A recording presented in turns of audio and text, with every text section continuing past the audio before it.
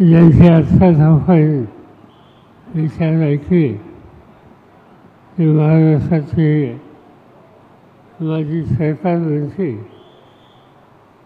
आणि कराची आमदार बाळासाहेब पाटील या ठिकाणी उपस्थित असलेले माझे जुने सहकारी माझे आमदार डॉक्टर चंद्रकांत होकर माझे आमदार रवींद्र कदम राष्ट्रवादी काँग्रेस पक्षाचे उपाध्यक्ष कुमार शेटे ज्यांचे विचार आपण या ठिकाणी ऐकले ते महाराष्ट्राचे ज्येष्ठ पत्रकार मधुकर भावे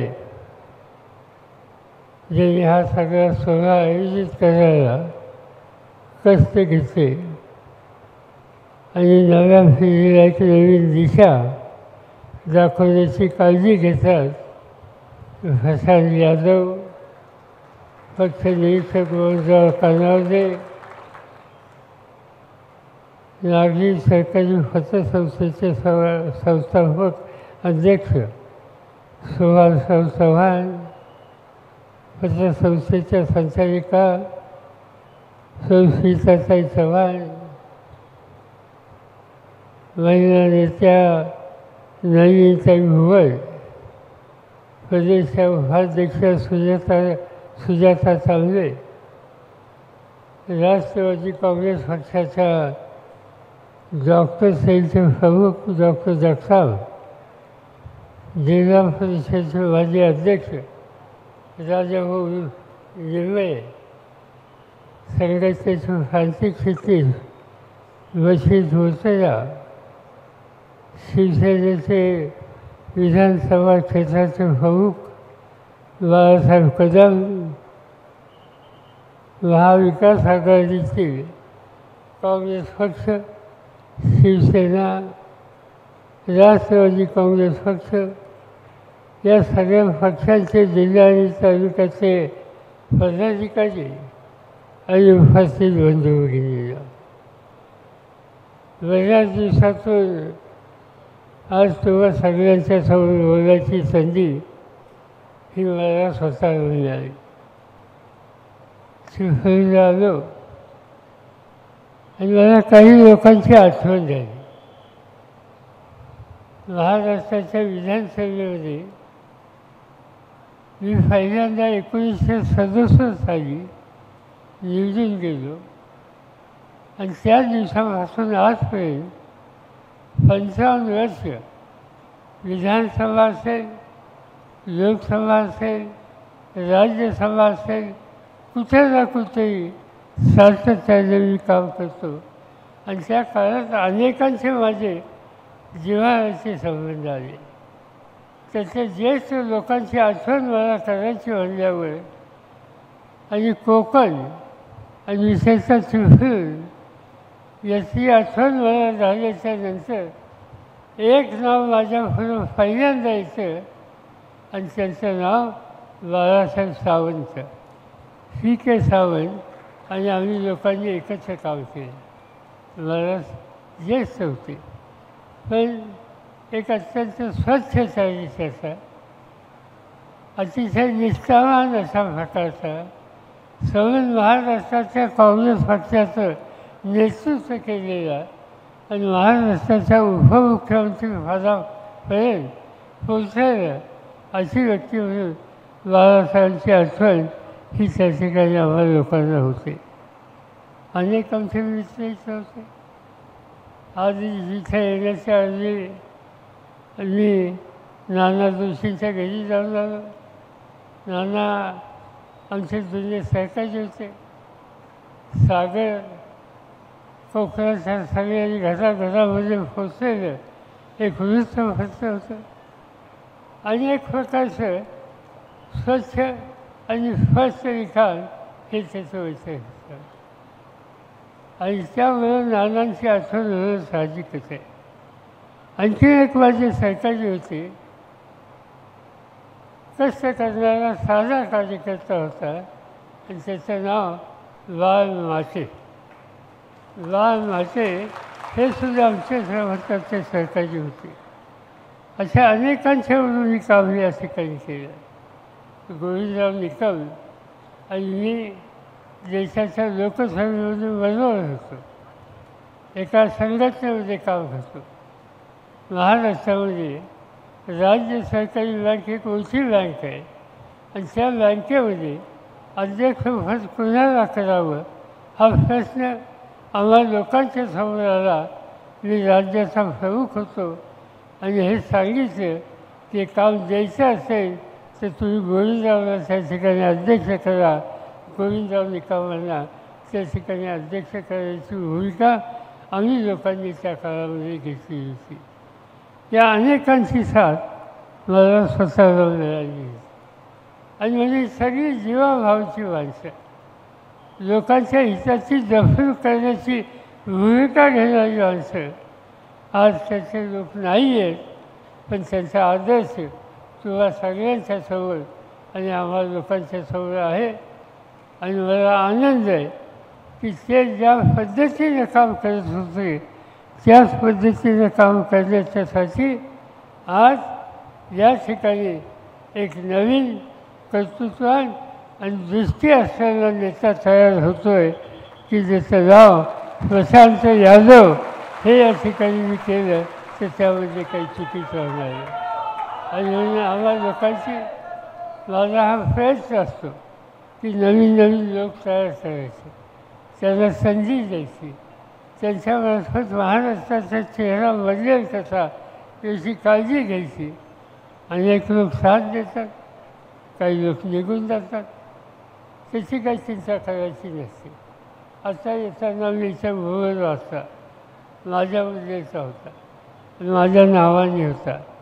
त्याच्यात होतं लिहिलं माझा फोटो आणि मला दाखवलं आणि मी येतो आहे असं लिहिलं होतं. दोन दिवसापूर्वी इथं सभा झाली. आणि सभेमध्ये एकाने सांगितलं तर येतो आहे अजून. माझी त्याला विनंती आहे मी येतो म्हणजे आलो आणि आता इथून रायगडलाच जाणार आहे. त्या- त्यामुळे तुम्ही मी येतो आहे तर आणखीन कुठे येतो आहे त्याचा फक्त लवकरच कळेल. त्याला काय फारसा वेळ लागणार नाही. हे या ठिकाणी मला सांगायची गरज आहे. आज ज्यांच्या हातात सत्ता आहे त्या सत्तेचा वापर योग्य पद्धतीने केला जात नाही ते राज्य असो केंद्र असो. ज्याचा उल्लेख असा बाळासाहेब सावंतांनी केला. सिंधुदुर्ग जिल्ह्यामध्ये छत्रपतींचा पुतळा उभा केला. पण तो फाडला. आम्ही चौकशी केली. सरकारच्या वतीनं आम्हाला सांगण्यात आलं मी नेव्हीला विचारलं नेव्ही एकेकाळी देशाचा संरक्षण मंत्री म्हणून मी काम केलं. आणि त्यामुळे नेव्हीसुद्धा माझ्या हाताखाली एकेकाळी होती. त्याच्या वरिष्ठाच्या वरिष्ठ अधिकाऱ्यांना मी विचारलं हे कशामुळे झालं? ते त्यांनी राज्य सरकारला विचारलं. आणि राज्य सरकारने सांगितलं की वारा जास्त आला आणि वाऱ्यामुळे फुटायला पाहिजे. तुम्ही मुंबईला जाता. शिवाजी फाटला गेला असेल. शिवाजी महाराजांचा पुतळा तिथे. तुम्ही इंडिया गेटला गेला असेल गेटवे ऑफ इंडियाच्या समोर शिवाजी महाराजांचा पुतळा आहे. आणि हे पुतळे ऐंशी वर्षाच्या पूर्वी उभे आले. समुद्राच्या जवळ आहे भरपूर वारा आहे. त्या पुतळ्याला कधी धक्का बसला नाही. आणि सिंधुदुर्गाचा पुतळा पडतो आणि वाऱ्यामुळे काय चालले हे? स्वच्छ त्याच्यामध्ये कसं आहे की पुतळ्याच्या उभारणीसाठी सुद्धा भ्रष्टाचार या ठिकाणी आहे महाराजांचा पुतळा आणि तिथेसुद्धा पैसे खायला तुम्ही शोधत नाही कसे लोक आहेत महाराज आपल्या सैन्याला आपल्या अधिकाऱ्यांना आदेश द्यायचे त्यांनी आदेश दिला की तुम्ही खेड्यापाड्यात जात असाल ते शेतकऱ्याच्या शेताच्या पिकाच्या देणार त्याच्या देशाला सुद्धा हात नका. त्याचं रक्षण करा. अशा फक्त जातीच्या लोकांना घेऊन जा. या सगळ्यांच्या हिशाची जपणूक ही तुमची माझी जबाबदारी आहे. आणि हे खरं रयतेच राज्य हा आदेश हा सल्ला ही भूमिका घेणारे शिवछत्रपती आणि आज त्यांचा पुतळा उजाळत जातो उद्ध्वस्त होतो. आणि एक स्वतःचं चित्र सांगून देशामध्ये वाईट होतं. याचा अर्थ भ्रष्टाचार कुठल्या लेवलला आहे मी काल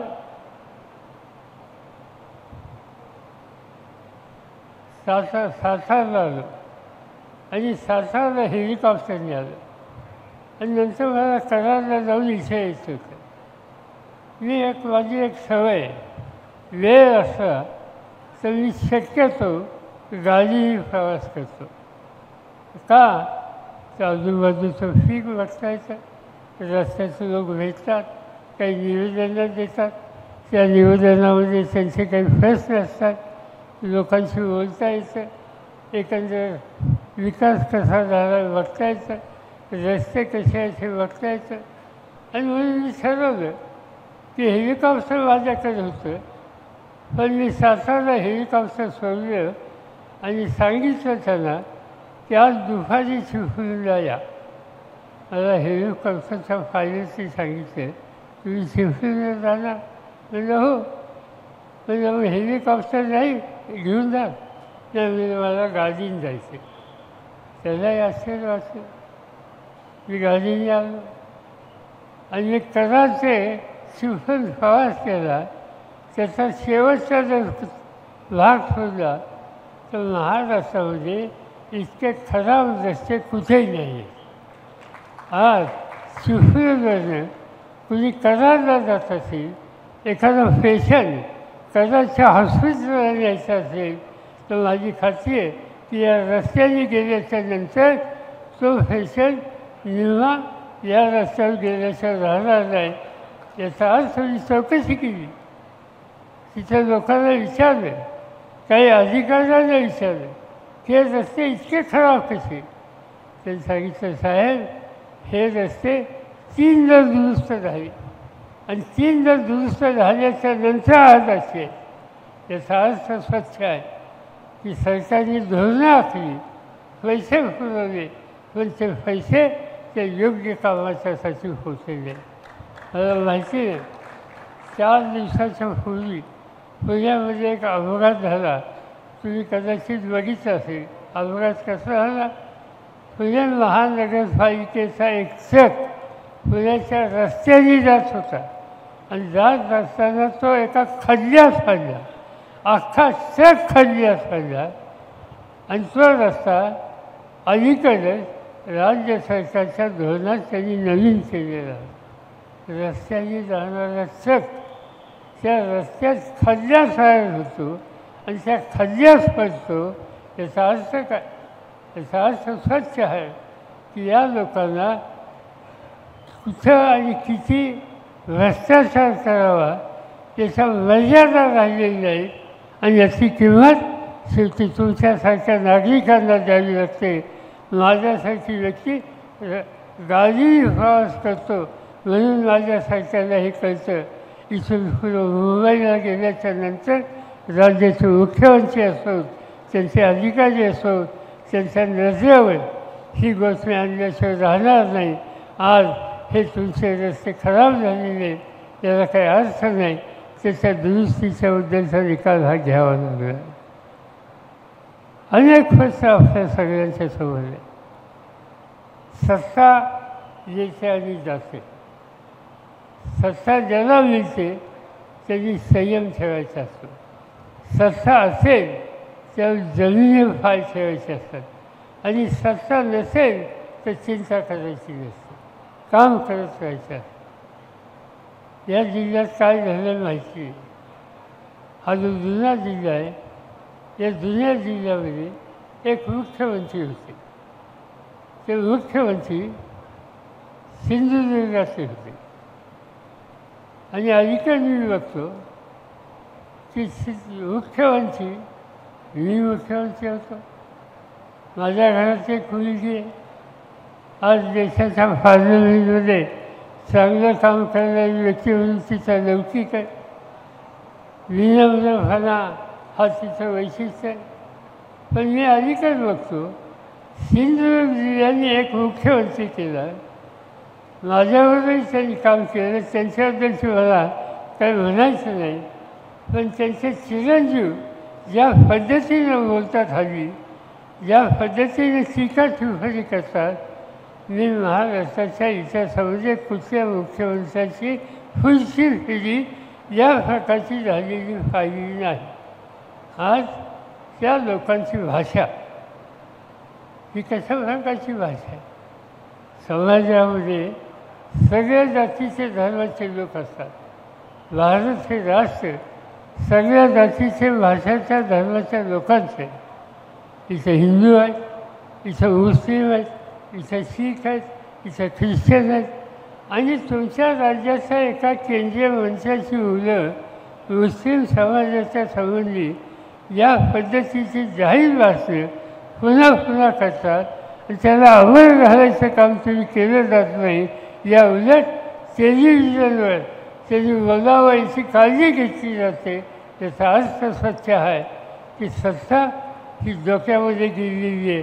आणि ज्यावेळी सत्ता डोक्यात जाते लोक कधीच एक होतात आणि त्यांना त्यांची सत्ता ती दाखवा ही दाखवण्याचं राहणार नाही. आज ही स्थिती या ठिकाणी त्यांना दोष द्यावा का नाही हे मला कळत नाही. आणि त्याचं कारण आठ दिवसाच्या पूर्वी देशाचे प्रधानमंत्री काश्मीरला गेले आणखीन त्या ठिकाणी प्रचाराला गेले त्यांचा अधिकार आहे. मत मागायचा त्यांचा अधिकार आहे. त्यांची भूमिका मांडायचा अधिकार आहे. प्रधानमंत्री ही एक संस्था आहे इन्स्टिट्यूशन आहे. आणि तिचा सन्मान ठेवणं ही तुमची माझी सगळ्यांची जबाबदारी आहे. आणि ती काळजी आम्ही लोक घेत असतो. पण प्रधानमंत्र्यांनी सुद्धा सामान्य लोकांची अन्य घटकांची प्रतिष्ठा ठेवली पाहिजे. प्रधानमंत्री गेले त्या ठिकाणी. कर्नाटक काश्मीरमध्ये एक विशिष्ट स्थिती आहे. काश्मीरच्या सीमेवर पाकिस्तानची सीमा आहे. आणि त्यामुळे आपल्या नेहमीच त्या भागामध्ये खबरदारी घ्यावी लागते. लोकांना एकत्र ठेवावं लागतं. प्रधानमंत्री त्या ठिकाणी गेले. निवडणूक प्रचार तिथं काँग्रेस पक्ष आणि फारूक अब्दुल्ला यांचा पक्ष दोन्ही एकत्र निवडणूक लढत होत. आहेत एकत्र निवडणूक लढवायला गेली. त्या ठिकाणी प्रधानमंत्र्यांनी जाऊन विकासाचं काम मानलं असतं. तुम्ही समजू शकता असतं एखादं धोरण चुकीचं असतं तर त्यासाठी टीका केली. तुम्ही मान्य केलं असतं प्रधानमंत्री गेले आणि सांगितलं की काँग्रेस पक्ष हा नक्षलवाद्यांचा पक्ष आहे. काँग्रेस पक्ष हा गुंड्यांचा पक्ष आहे. काँग्रेस पक्ष हा भ्रष्टाचाराचा पक्ष आहे. मोदी साहेबांना विनंती करणार आहे. उद्या पार्लमेंटला जाईल त्या भेटून करणार आहे की या देशाच्या स्वातंत्र्यासाठी काँग्रेस पक्षाच्या नेतृत्वाने प्रचंड त्याग केला.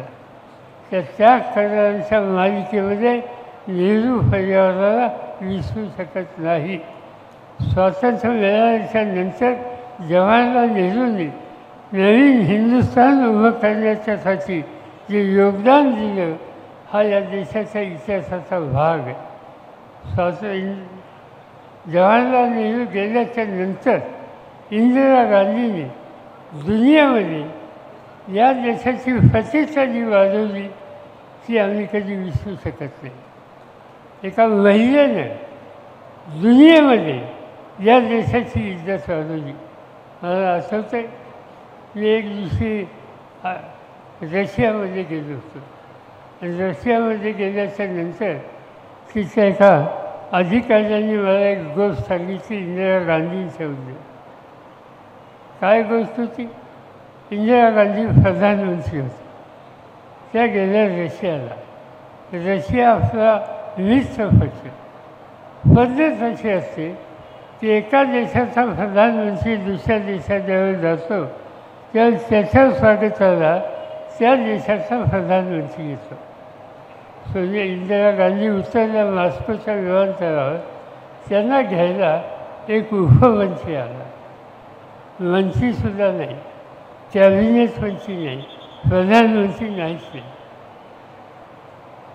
तिथं प्रधानमंत्र्यांच्यासाठी उतरायची जी जागा आहे. त्याला क्रेमलिन म्हणतात. तो वाडा आहे राजवाड आहे इंदिरा गांधींची व्यवस्था क्रेमलिनला केली होती. इंदिरा गांधी उतरल्या विमानात त्यांचं स्वागत करायला कोणी नव्हतं. भारताचे राजदूत त्या ठिकाणी होते. त्यांनी सांगितलं इंदिरा गांधींनी माझी व्यवस्था कुठे? आहे त्यांनी सांगितलं क्रिमलिनमध्ये रशियाच्या सरकारने केली. इंदिरा गांधींनी सांगितलं तुमचं घर कुठे आहे? ते त्याच्याजवळ आहे. त्यांनी सांगितलं की क्रिमलिनला जायचं नाही. भारताचा राजदूत इथं राहतो तिथं जायचं. आणि गाडी तिथं घ्या. प्राईम मिनिस्टरच्या आपल्या गाडी भारताच्या राजदूताच्या घरी गेली. आणि त्या ठिकाणी इंदिराजी तयार झाल्या. तिथं राजदूताच्या घराच्या जवळ भारताचे अन्य अधिकारी असतात. त्यांच्या मुलांना इंदिरा गांधींनी बोलवलं आणि त्या ठिकाणी मुलांच्यावर खेळत बसल्या. तिकडं रशियाचे प्राईम मिनिस्टर वाद बघत होते. आणि ह्या मुलांशी खेळत होते. शेवटी रशियाच्या प्राईम मिनिस्टरनी त्यांचे डेप्युटी प्राईम मिनिस्टर यांना भारताच्या राजदूताच्या घरी पाठवलं आणि इंदिरा गांधींची माफी मागितली. की तुमचं स्वागत आम्ही राज्य शिष्टाचाराप्रमाणे केलं नाही. इंदिरा गांधींनी असं त्यांच्या प्रधानमंत्र्यांना सांगितलं प्रश्न इंदिरा गांधींचा नाही. मी ऐंशी कोटी भारतीयांचा प्रतिनिधी म्हणून इथं आलेलं आहे. त्यांचा जर अपमान असेल तर मला कशाची किंमत नाही? सगळं मी स्वतः तयार आहे. पण हिंदुस्थानच्या ऐंशी कोटी लोकांची इज्जत ही माझ्या दृष्टीनं जास्त महत्त्वाची आहे. ही भूमिका इंदिरा गांधींनी केली. त्या इंदिरा गांधींची हत्या झाली. आणि आज देशाचे प्रधानमंत्री म्हणतात की या कुटुंबांनी देशाला नुसतं काय वाचलं पाहिजे आहे? राजीव गांधी देशासाठी सगळं दिलं त्यांची हत्या त्या ठिकाणी झाली आणि हे झालं असताना सुद्धा त्या गेल्याच्यानंतर त्यांच्या पत्नी सोनिया गांधी की ज्यांच्या विरुद्ध आम्ही लोकांनी काही राजकीय भूमिका घेतली होती पण या देशाचा हिताचा भ्रष्ट आला त्या सोनिया गांधींनी परदेशात परत जायचा विचार कधी केला नाही. त्यांनी विचार केला की या देशाची बांधिलकी ठेवायचा आणि त्या आणि त्यांची पुढची फिरी आजही या देशाच्या भयाचा विचार करतात. एवढा त्याग करणारी देशाच्या संबंधी आस्था दाखवणारी ही फिरी असताना प्रधानमंत्री म्हणतात हे भ्रष्टाचाराची चोरी आहे. हे भ्रष्टाचाराचं घर आहे. भ्रष्टाचाराच्या तीन पिढ्या आहेत माझ्यासारख्याला आश्चर्य वाटतं की देशाचा प्रधानमंत्री म्हणजे कसं या पद्धतीनं बोलू शकतात आणि त्यामुळे साहजिकच आहे. ज्यांच्या हातात सत्ता आहे त्या सत्तेचा गैरवापर केला जातो. त्या सत्तेचा गैरवापर करून तुमच्या मूलभूत प्रश्नाची सोडवणूक करण्याची जी जबाबदारी आहे त्याच्याकडे लक्ष दिलं जात. नाही आणि त्यासाठीच आज या देशामध्ये परिवर्तनाची गरज आहे. आणखी परिवर्तनाची गरज काही प्रमाणात तुम्ही लोकांनी भागवली. तर लोकसभेच्या निवडणुकीमध्ये प्रधानमंत्री देशात दास होते. चार फार चारशेच्या खाली नाही या प्रकारच्या जागांचा हिशोब बांधत होते. ते चार सुफार ही भाषा बोलणारे मुख्य प्रधानमंत्री त्याला भारताच्या जनतेनं दोनशे चाळीस जागा दिली आज चंद्रबाबू नायडू आणि नितीश कुमार या दोन मुख्यमंत्र्यांची मदत झाली नसती तर दिल्लीचं मोदीचं सरकार हे तयार झालं नसतं. पण तरी अजूनही याचं काही शिकलं पाहिजे त्या प्रकारची भूमिका घेतली जात नाही आणि त्या प्रकारची भावना टाकली जात आणि म्हणून आपल्याला आज एक वेगळ्या निवडणुकीला जावं लागेल. आता देशाची निवडणूक झाली. देशाच्या निवडणुकीमध्ये महाराष्ट्राच्या जनतेने तुम्ही लोकांनी चांगली साथ आम्हा लोकांना दिली. मागच्या पाच वर्षाच्या पूर्वीच्या निवडणुकीमध्ये काँग्रेसचा एक खासदार निवडून आला. माझ्या पक्षाचे चार खासदार निवडून आले. यावेळेला आम्ही ठरवलं एकत्र जायचं एकत्र गेलो. जनतेसोबत भूमिका मांडली. आणि जनतेने अठ्ठेचाळीसपैकी एकतीस खासदार आमचे निवडून दिले. राष्ट्रवादी काँग्रेस पक्षाने फक्त दहा जागा लढवल्या त्या दहा ते आठ जागा निवडून आल्या आणि लोकांनी संधी दिली याचा अर्थ लोकांना आमची भूमिका पचलेली आहे. आणि म्हणून मी महाराष्ट्राच्या कानाकोपऱ्यात जातो आहे आणि सांगतो आहे की तुम्ही देश पातळी योग्य निकाल घेतला आता महाराष्ट्र नीट करायचं असेल प्रगतीच्या रस्त्यावर यायचं असेल रस्ते आणि बाकीच्या गोष्टी सुधारायच्या असतील तर महाविकास आघाडी की जी काँग्रेस पक्ष राष्ट्रवादी काँग्रेस पक्ष आणि उद्धव ठाकरेंच्या नेतृत्वाखालचा शिवसेना पक्ष आणि अन्य छोटे डावे पक्ष आणि सगळेजण एकत्र जाऊन तुम्हाला शब्द देतो की तुमच्या ताकदीच्या जोरावर देशाचं महत्त्वाचं राज्य म्हणून महाराष्ट्र केल्याशिवाय आम्ही राहणार नाही. साधी गोष्ट आहे. माझ्याकडे राज्याची सूत्र होती. कोकणासाठी काही करावं चर्चा होत होती. एक निकाल मी घेतला. रोजगार हमीवर फळबाग. फळबाग त्याचा परिणाम काय दिसतो मी अनेकदा हेलिकॉप्टरने जात असतो. इथून गोव्याला किंवा या भागात? आणि ज्यावेळेस माझं हेलिकॉप्टर कोकणात जातं आणि नजर खाली जाते सगळे डोंगर काजूची झाड आहे आंबाच्या ठिकाणी आहे हिरवगार चित्र आहे चित्र बदललेलं आहे. हे बदलू शकलं त्याचं कारण रोजगार हल्लीवर फरक द्यायची योजना ही त्या ठिकाणी राबवली आज कोकणाचा चेहरा बदलायचा असेल. तो फलोद्या असो मत्स्य व्यवसाय असो प्रक्रिया कारखानदारी असो आणि त्याबरोबर अन्य छोटे मोठे उद्योग या संबंधीचा आधार असेल याच्यात अधिक लक्ष द्यायची गरज आहे. आणि त्यामुळं माझी खात्री आहे की कोकणाचा चेहरा बदलल्याशिवाय राहणार नाही. इथला माणूस हा कष्ट करणार आहे. तो दाखवत नाही पण कष्टाच्या बाबतीत कधी तो माघार घेत नाही आणि कष्ट ठरणारा माणूस जो आहे त्याला घामाची किंमत दिली दिली तर तो आणखीन कष्ट करेल आणि महाराष्ट्राला मोठं करेल आणि त्यासाठी हे कार्यक्रम घेण्याच्या उद्देशी आज आणखीन आवश्यकता आहे. आणखीन एक क्षेत्र आहे. आणि ते म्हणजे पर्यटन.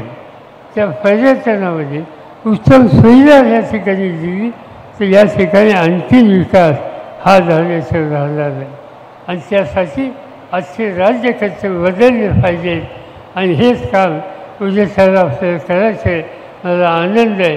की प्रशांत यादवांच्या सारखा एक तरुण कार्यकर्ता इथं काहीतरी बदल करतो चाळीस हजार पन्नास हजार लिटर दूध चिफरण आजूबाजूला होतं.